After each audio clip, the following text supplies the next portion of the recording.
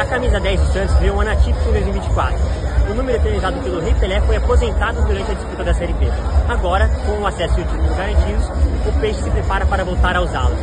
Mas e aí, quem o torcedor quer ver vestindo a 10? É isso que o Terra veio descobrir. Quem vocês querem que seja o próximo camisa 10 do Santos e por quê? Neymar, obviamente, né? É o maior ídolo do Santos, é na atualidade, né? Na minha opinião, a camisa 10 deveria ser aposentada depois que o nosso rei infelizmente partiu. É, minha opinião é essa. Na minha opinião que é o Paulo Henrique Ganso, é um cara que sabe trabalhar bem a bola, deita em todo mundo e vai fazer muita diferença pra nós aí. Próximo camisa 10, eu gostaria que muito fosse o Neymar. Certo? Porque querendo ou não, ele já tem muita história no nosso Santos. E ele vai voltar, vai voltar lastrando tudo, entendeu? Então eu espero muito que seja o Neymar. Ao Ganso, né? Porque ele fez, ele jogou e joga o fino da bola ainda. O Ganso também é um maestro, né? Joga muito. Gabigol.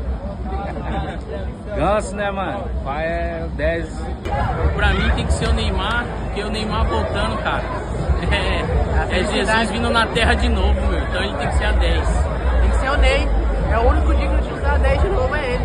Tem jeito. O Neymar vai trazer muitos benefícios para o Santos, vai trazer dinheiro, vai trazer visibilidade, vai, vai trazer todos os investimentos que precisa para o Santos na atualidade. Senão não adianta subir. Eu queria muito que o Ganso voltasse, ainda mais se o Neymar vir, os dois juntos, e o Ganso é o perfeito camisa 10, na minha opinião.